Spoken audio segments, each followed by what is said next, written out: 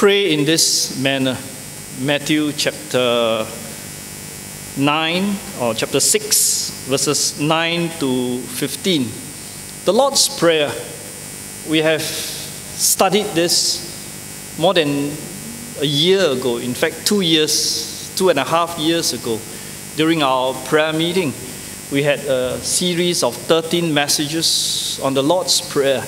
And it is a good reminder as we would come again and look at the Lord's Prayer once again so that the people of God, those who have missed this study during the prayer meeting, may benefit from it.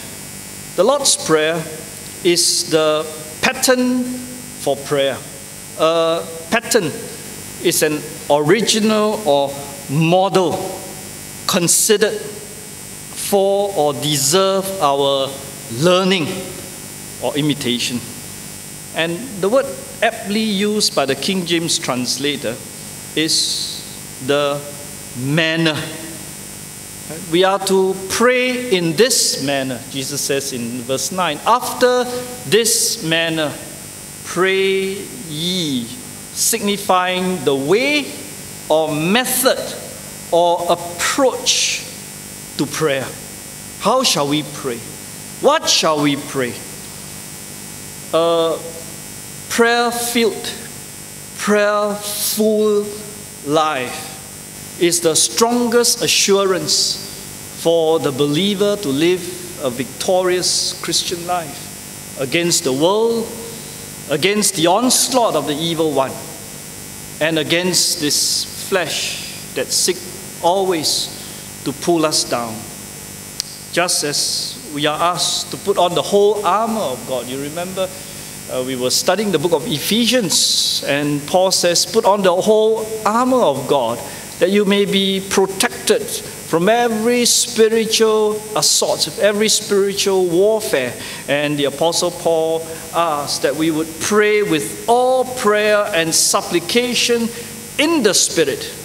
What does it mean to pray with all prayer and supplication in the Spirit? Well, it is this what our Lord taught concerning how we can fortify ourselves, protect ourselves, and live this life receiving God's blessing.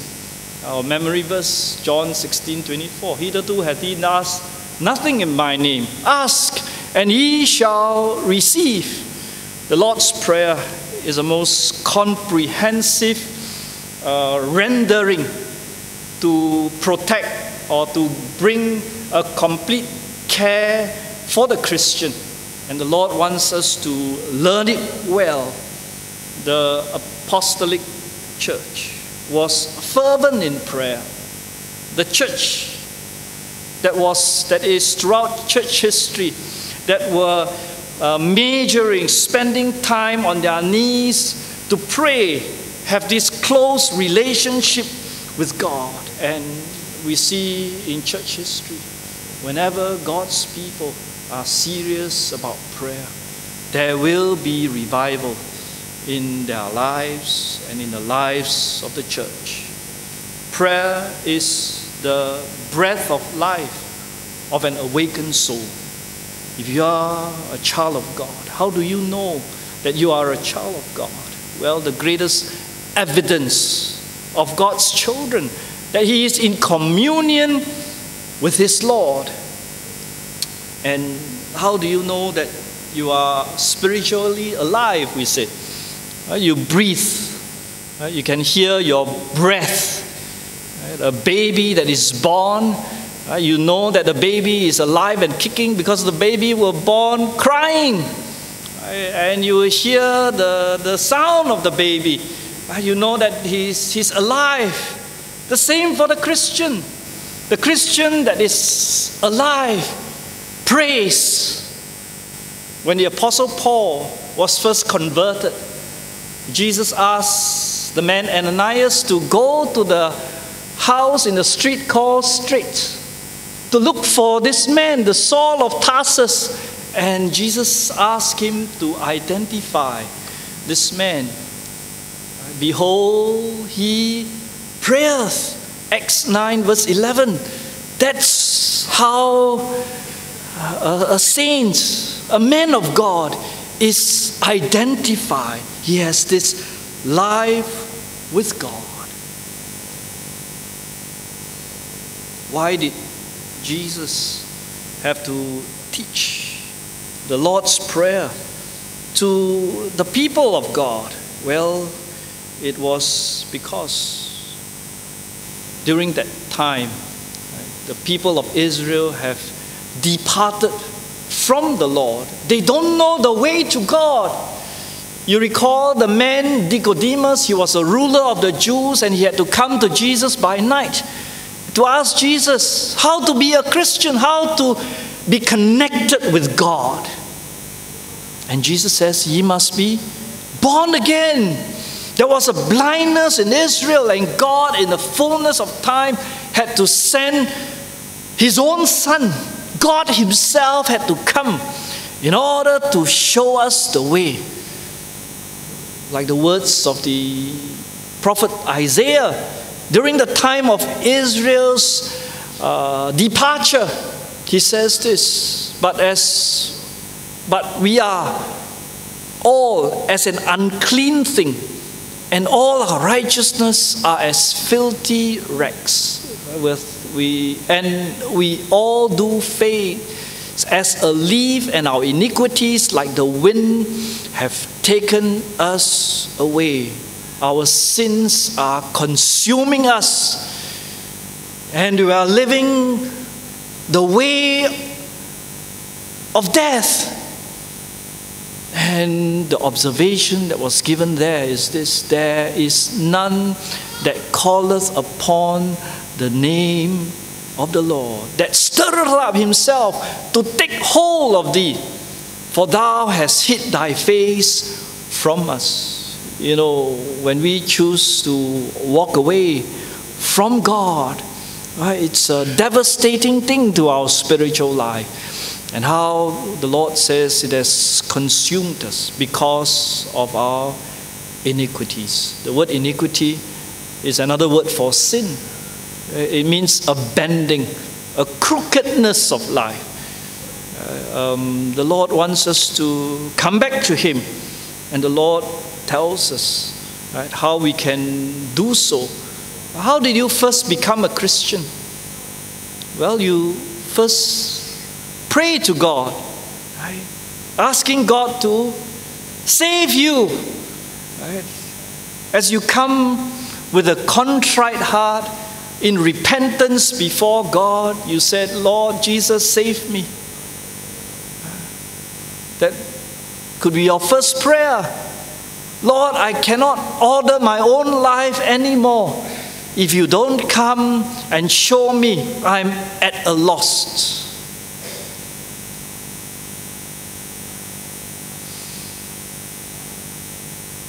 The Lord's Prayer provides for us eight pertinent elements. Eight pertinent elements that we want to take time to study and focus on. When you visit Israel, we were there uh, once in 1998, and uh, this is the place that is called the Church of Pater Noster, right? the Church of Our Father. That's the meaning of the word um, Pater Noster. And there, uh, in the Mount of Olives, stands this church that has the Word of God, the Lord's Prayer, printed, engraved on the wall in, with 64 languages. Uh, there's a picture of that church there. And I recall uh, it was the first time I could take long leave since starting work five years uh, to be able to go and I thank my department manager for giving me the leave almost two weeks. And coming back, well, I brought a copy of the Lord's Prayer in his own language.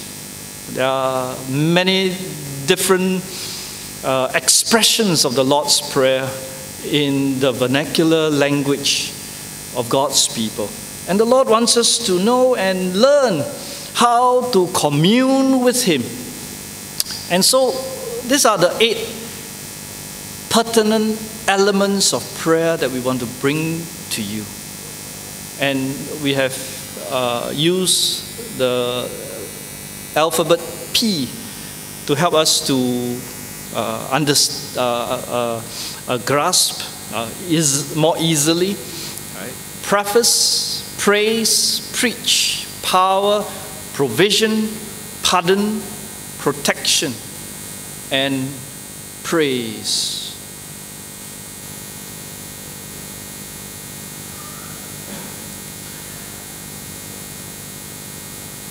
Our Father, which art in heaven.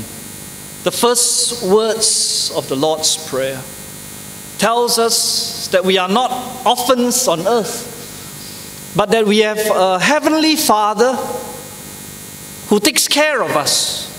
And, you know, we have our earthly Father who would do good to his children.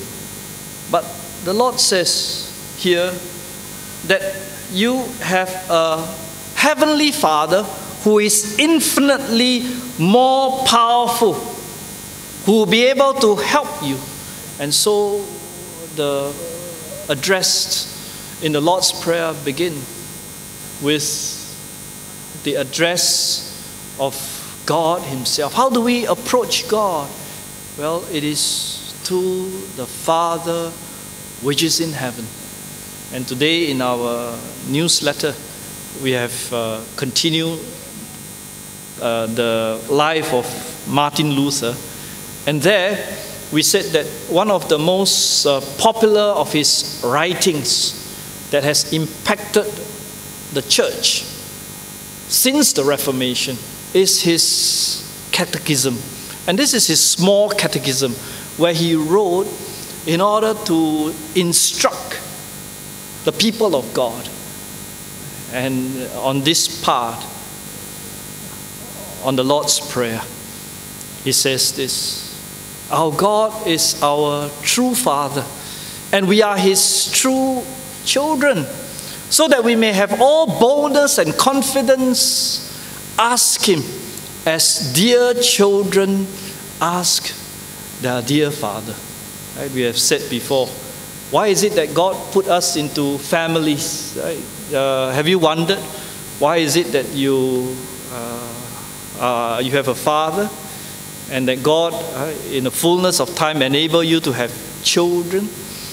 You learn by this familiar relationship, our relationship with the Father in heaven, which is spiritual, which is eternal right? But by a physical uh, understanding, when God put us into families, we learn that relationship between the father and the child. And so that in eternity, this will be our relationship. We, his children in eternity, with our Father in heaven. And here on earth, we learn this lesson well. And so the Lord's Prayer begin with these words Our Father, which art in heaven. We acknowledge right, that we have a Father who is beyond this universe. He is in heaven high above, exalted and we are His children. And we are coming before Him. And how do we come before Him? Uh, Jesus says, Hallowed be thy name. Well, we come before Him because He has brought us to Him through His Son, Jesus Christ. And the word there, hallowed, means to be made holy. How can you draw close to God? Well, because God has made you holy through the blood of His Son, Jesus Christ. So the Lord's Prayer has a story to tell. And that's what we want to learn. What is it that God wants us to commune with Him? And it's a very logical story that is unfolding before us. And we want us to think and consider very carefully right? the name of God. Hallowed be thy name. We'll be going through the details of it in the coming weeks. But here we said that God has made us holy. We are, by this prayer, acknowledging God for who He is, worthy of our worship and praise. Why is the Father worthy of our praise? Because He has cleansed us from all our sins. We are able to say by the Spirit of God that is within us, in us, to say no to sin, to have that power, that freedom over sin and death. And that when you take your last breath, do you know where you would go? Absent in the body, present with the Lord. Well, that is the first thought that is before us. Praise, hallowed be thy name. A happy beginning because of what God had done for you. So, this first petition is an affirmation that this Most High God has condescended to be among His people. And God's name signifies His character, signifies His reputation, represents who He is, His worth. He is a thrice holy God. You remember Isaiah when he was in the throne room of God? He was freezing there, Isaiah chapter 6. He saw the glory of God and he remembered how the king Uzziah died. He was died, he died a leper because he intruded into the throne room of God to offer sacrifices. Only the priest is appointed by God for that, and in his pride, this great king that has brought great prosperity and wealth to Israel. In his pride, he intruded into the throne room of God, and God immediately struck him with leprosy, and he died of leprosy. We have a holy God, a God who is a consuming fire, a judge, and he has saved you. You are clean before him. His blood has washed you white as snow. And this is your privilege that God has given to you. We said that Christianity is a relationship, a relationship between God and man. And sin is a broken relationship. But through Jesus Christ, this relationship is mended. When you receive Jesus Christ, believe that He has died for your sins, shed His blood to wash every whit clean, and three days later, He triumphed over death and sin by His resurrection from the dead. This is the power of holiness that is given to God's people. And so He says here, Hallowed be thy name. Praise very happy.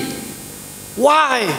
Because of what God had done for us. So we proclaim His merit, we proclaim His worth. It is man's most worthy and reverential acknowledgement of God. This is how we can address God. Hallowed be thy name. And we can never really fathom what it means to praise the name of God, those words uh, that are being articulated by our Lord Jesus Christ. And it takes time to dwell, to think, to consider, to dwell deeply.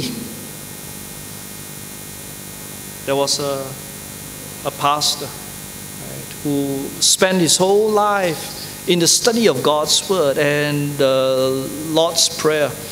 Was one of those that he has taken so much time to consider and to learn to pray and to seek to know. And at the end of it, he said that, wow, it is so deep, so deep. I could not still, after a lifetime of rendering, see the depths of that relationship that I can have with my Heavenly Father. And so it begins like this, and then it tells us that the next petition there. Preface. That's how we begin the prayer, addressing God, who is our Father in heaven. And that's how we pray to the Father through the Son and by the help of the Holy Spirit. Our Father, which art in heaven. And praise, hallowed be thy name. And then the, the Lord Jesus says, Thy kingdom come. And we use the word preach. And then we want to share the story of the message that God has for us. Uh, the fact that we can be made holy must cause us to want to share this good news with others. Having benefited, received sins forgiven, having a life worth living. What the Lord wants us to do is to share the source of our blessing with others. Thy kingdom come. And here when Jesus speaks those words, this is the shortest part, shortest petition in the Lord's Prayer. Only three words, four words in the original, uh, but it is impactful. God's kingdom speaks about his dominion, his rule, and his reign. Sometimes we think oh, God is invisible. Where is he as we go through the troubles of life? Right? You see the world, you know, as it were, veering off course. Right? You'll see families veering off course, husband and wife in their relationship veering off course. Right? We, indeed, we live in a, a generation right, where uh, we, we truly need God. Right? Families are breaking down. Right? In America, the statistics 50% divorce rates. In Europe, 70%. Families are crying out, what to do? Well, here Jesus says, Thy kingdom come. God must usher in His kingdom. You know why, um, you know, when Israel began their life as a nation, they were called a theocracy. God rules. And when you have God ruling, that's the best. But in, since the fall of mankind, right, you find that uh, man has uh, rejected the rule of God in their lives. And so when you think of this prayer, that God's kingdom may be inaugurated. God's kingdom may come. God's kingdom may have its, the word there is parousia, the second coming of the Lord, that Christ must come to make right. Men sought to rule last 6,000 years, and he has failed miserably. If you look at the history of mankind, there were perhaps only 300 years that were without war. Right? All the other time, men were savagely killing one another. Right? And the only time when they were not at war is when they were preparing for the next war. They were reload, reloading. So, as you think about mankind and our life, the world it is, and how we attempt to uh, bring things in order, right? we see that ah, there is great disorder. And so, this prayer, uh, Thy kingdom come, is so important Do you pray with a larger perspective? Do you pray for the persecuted saints that is around the world? Do you have that big picture of what God is doing in His kingdom work? Well, here you see the Lord's Prayer begins with that big picture. It doesn't begin with saying, Give us this day our daily bread, but He begins by speaking about His kingdom. He's telling us to live with a higher purpose. He wants us to know, to see uh, there, are, there is a higher purpose and meaning to life. When God made Israel, when they were in the wilderness, we were studying Ex, uh, Exodus chapter 17. No water again. What did they do? Well, they were murmuring. But what was God doing? God was making with them a nation. And God said to them, Exodus 17 7, Am I not with you? If I'm with you, can I not take care of you? What did God do? Well, God asked his servant Moses to take a rod, hit a stone, and water came out of the stone. We have a God who is indeed able to help us. God saved you for a purpose. It's not just to put food on the table. No, God has a greater purpose for His kingdom. That's why He sent His Son. And that His Son has given to us the marching orders, the Great Commission to preach, Thy kingdom come.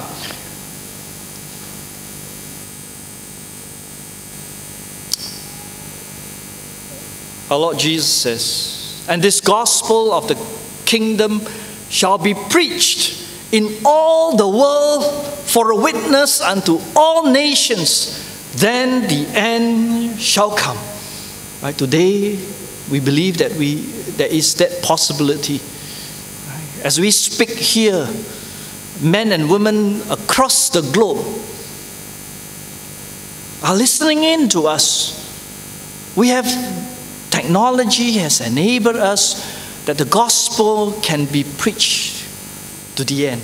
And the Lord tells us that it means that His kingdom is consummating, He's coming again. And the Lord wants us to live for that higher purpose because when He comes, He will bring His reward with Him. What have you done with your life? What are you doing with your life? Is there anything that you have done that is not called wood, hay, and stubble that will be burned away?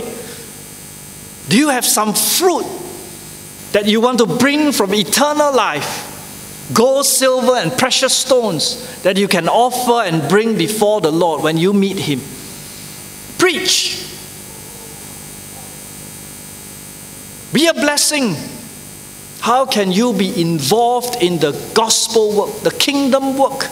You may not be standing giving the word as it is, but God gives you a tract Ask you to talk to someone, someone who is connected to you, someone God will bring your way. Would you have the heart to do something?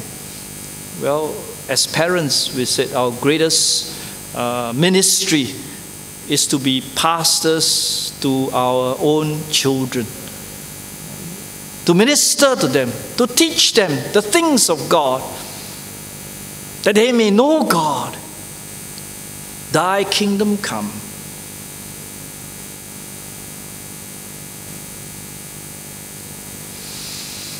Thy will be done on earth as it is in heaven. This third petition acknowledges the sovereignty of God. He rules over all in heaven and in earth. There is no power or there are no powers that's not subjected to the almighty power of God. Thy will be done on earth as it is in heaven. And we find that this is a difficult prayer to utter. In a sense that if we sense that our will is in conflict with God's will, there seems to be a fear in our heart to turn over control of our lives to God.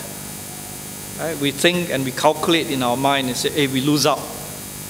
Thy will be done. But we don't want God's will in certain areas of our life. We don't want God's will. But here it is said to us that we are to pray, Thy will be done on earth as it is in heaven. That the will of God cannot be thwarted. This is a prayer of submission to the divine rule of God in our lives. Well, you have your devotion, you read the Word of God. And the Lord speaks to you through His Holy Spirit and tells you that this is what you are to do. Thy will be done on earth as it is in heaven. How can it be done on earth? Well, it begins with our life. And we take that effort to live for the Lord the higher purpose that God has for our lives. And it is a reminder for us to have a heart of discernment, to know the purpose of God for our lives and to seek it. Do you know the purpose of God in your life? Thy kingdom come, thy will be done on earth, your will be done in my life. Do you ask yourself this question? So, this Lord's Prayer helps us to search our hearts that we may know what is the will of God for our lives. And basically, it is a prayer of surrender to God. And it's difficult, right? Very difficult. Many areas of our life we don't want to be it to be surrendered to God. And so, the first three parts, the first three aspects of the Lord's Prayer are summed up by the first part of uh, Matthew 6:33. Jesus says, "But seek ye first the kingdom of God and his righteousness." So he instructs us that we are to direct our attention to God the Father we are to pray to the Father that His name be hallowed and that His kingdom come and that His will will be done. And Israel had to learn that lesson while they were in the wilderness. Why? Because God is going to bring them to the promised land. And God is going to bring them to the land that is flowing with milk and honey. They are going to be so well clothed that they have everything that they would ever need in their life, and they are going to forget the Lord. Because it is when they were in the promised land that they were secured, in the land of plenty, that they went a whoring after other gods. And that's where the Lord finally had to deport them out of the land. Suddenly, drought came. Suddenly, famine came. Suddenly, trouble came. And so the Lord wants us to understand the higher purpose for our life. Seek ye first the kingdom of God and his righteousness. Israel was a witness for God to all the nations of the world. Israel has departed from the Lord. Last 2,000 years, Israel was not in the land. Uh, God brought them back. 1948, May the 14th. And the Lord wants us to see God does not forsake His own, but He has a purpose for His people. And we, the church of Jesus Christ, is raised of God as his witnesses in the last days, in the end times. And this is the purpose for our congregating, why we come together, why we worship God, why we recite the Lord's Prayer, so that we may know the purpose of our existence and we may be living our lives to the fullest.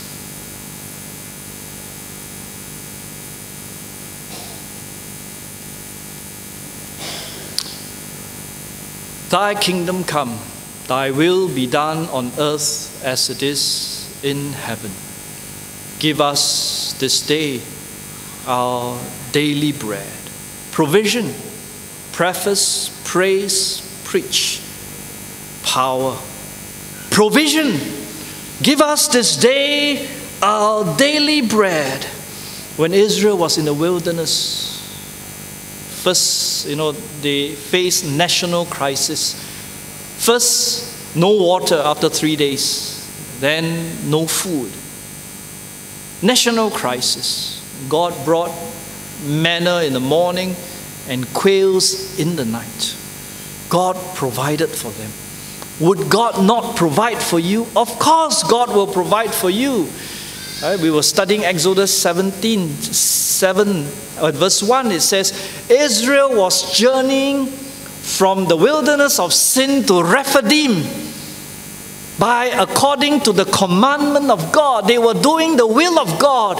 If you are following the Lord, walking with God, doing His will, will He not take care of you? Of course, He will take care of you. No questions asked. When they ask for water, they got water. Right? God asked Moses to take a, take a piece of wood, throw into the bitter water, and the bitter water became sweet. Will God not take care of you? Of course, God will take care of you. Give us this day our daily bread, but we must not take for granted. Right? Israel was asked to go and pick up the manna six days a week. On the seventh day, take two portion.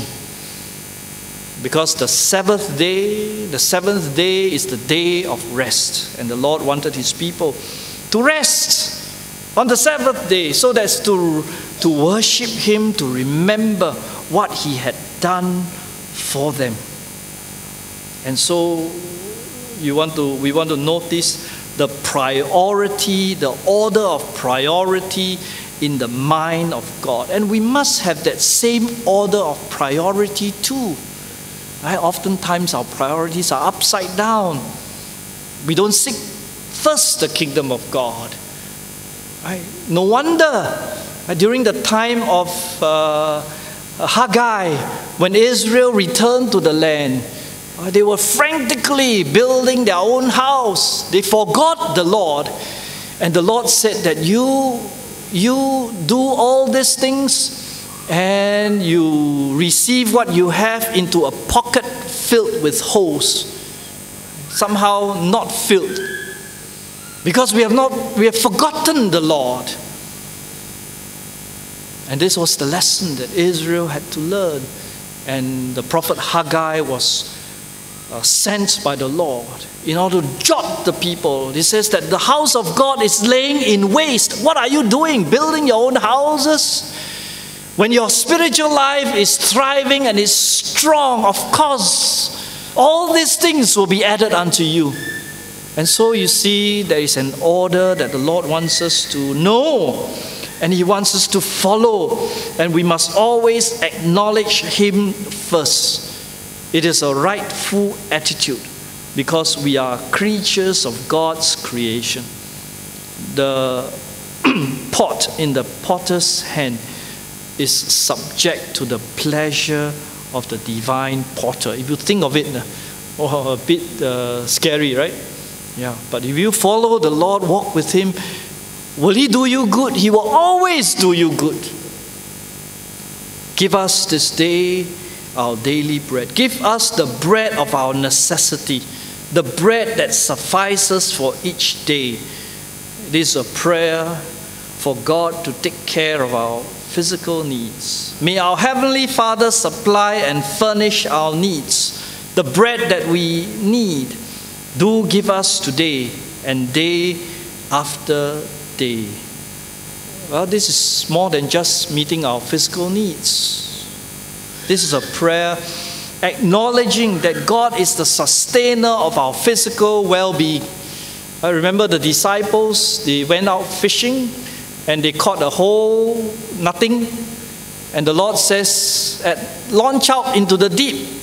Uh, Luke 5, verse 7 and they launch out and they what did they do Well, they caught a whole net full. All the fishes swam into the net, whereas the night before, all the fishes swam away from the net. But this is the God that we serve.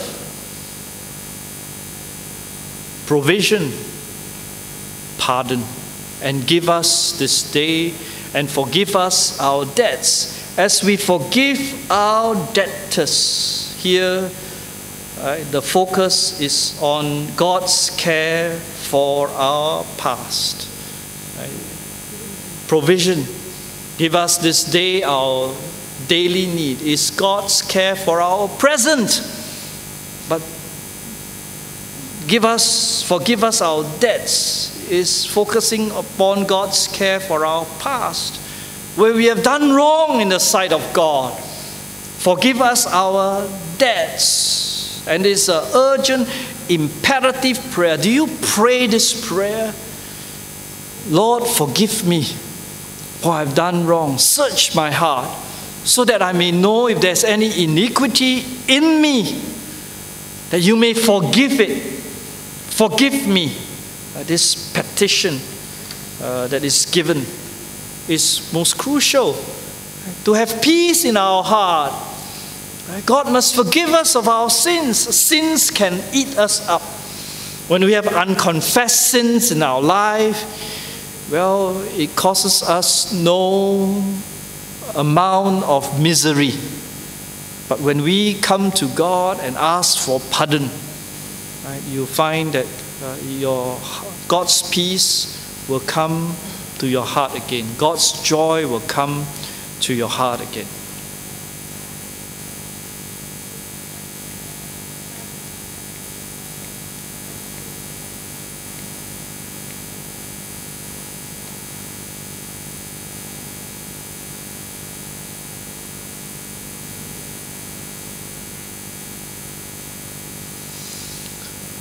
Psalm 37, verse 2 says, Delight thyself also in the Lord, and he shall give thee the desires of thy heart. The seventh petition protection, and lead us not into temptation, but deliver us from evil. Do you pray this prayer? That God would protect you from uh, temptations that would come in the day, well, we pray this prayer every day as a family. Why? Because we know that we are weak. In the flesh, we can fall anytime. And therefore, we ask that the Lord would lead us not into temptation, protect us from every temptation. You make a way of escape that I may have the strength of heart to say no to sin. Lead us not into temptation, but deliver us from evil, from the evil one, the attack of the evil one. We are weak, but God is strong. Do you ask God to protect you daily? Luther said, God indeed tempts no one. But we pray in this petition that God would guard and keep us so that the devil, the world, and our flesh may not deceive us nor seduce us into mischief, despair, and other great shame and vice. And though we may we be assailed by them, that still we may finally overcome and obtain the victory. Lead us not into temptation, but deliver us from evil. And Luther further wrote, We pray in this petition as the sum of all that our Father in heaven would deliver us from every evil body and soul, property and honor, and finally, when our last hour has come, grant us a blessed end and, a gener- and generously take us from this vale of tears to Himself in heaven. Right? A very appropriate way of describing life, isn't it? And it's not always a bed of roses. Oftentimes, in vales of vale of tears. God be gracious to protect us.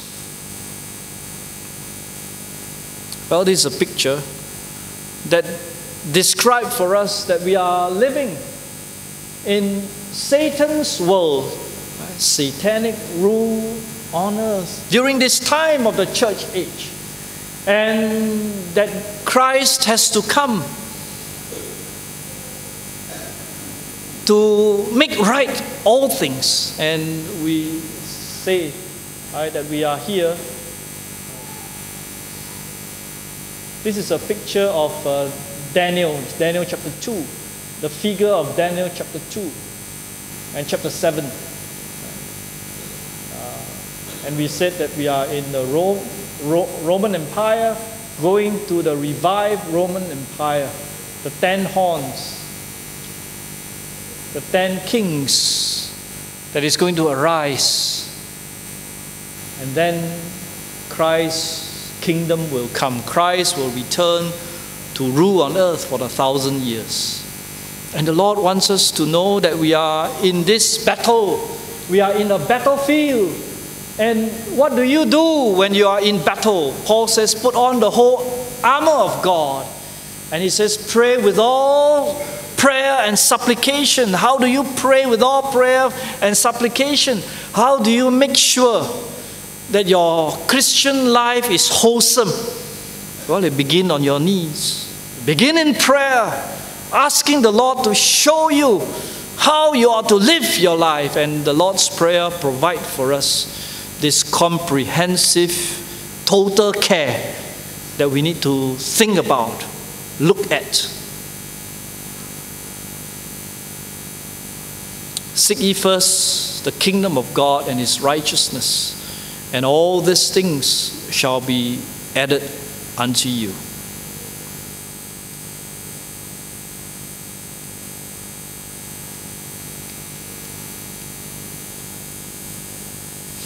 Preface, praise, preach, power, provision, pardon, protection. Finally, it begins with praise, it ends with praise or pronouncement. For thine is the kingdom and the power and the glory forever and ever. We don't know, we don't understand right, um, what it is to have God to rule. That would be the best because God would rule with His perfect character. God's rule. And God is returning, Christ is returning, and He's going to rule the world for a thousand years on earth. And we are going to reign with Christ. Human history of last 6,000 years teaches us that we are undone, that we cannot there is evil that is within us. And the curtailing of that evil is by the Spirit of God. The power that God would endue His people who are on their knees, who would pray. And the Lord wants you right, to, to pray. The Lord wants you to be protected. The Lord wants you to be strong spiritually. And the Lord wants you to, to protect you so that you would receive uh, uh, the blessings of the life that God had meant for you to live when He had saved you. So, the shorter catechism uh, tells us. Okay, I give to you here as we close. The whole Word of God is of use to direct us in prayer. But the special rule of direction is that form of prayer which Christ taught his disciples, commonly called the Lord's Prayer. And the Lord wants us to learn well, know well uh, Jesus, the Son of God, God Himself.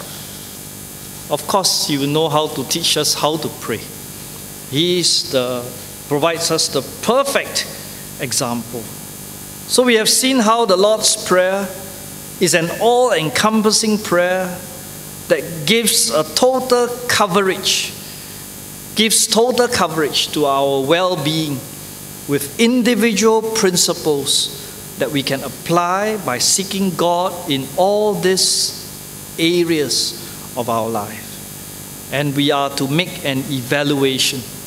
If we have missed out upon God's blessing in omitting to pray certain aspects of the Lord's Prayer, may God help us to fortify these weaknesses. May we make time and take time to commune with God. With it comes the blessings of peace and joy. We are not to miss out on God's blessings for us. May God speed us along to a greater communion and fellowship with Him. Let us pray. Father, we thank Thee for Thy word. Thank Thee for showing us the pattern for prayer. And Lord, as we would dwell more in depth into the Lord's Prayer in the coming weeks, may Thou be gracious to bless our study, that our prayer life indeed may be rich, and our Christian life, our life with Thee, uh, may be rich, that that richness may uh, permeate into the lives of the people around us. This I pray with thanksgiving in Jesus' name. Amen.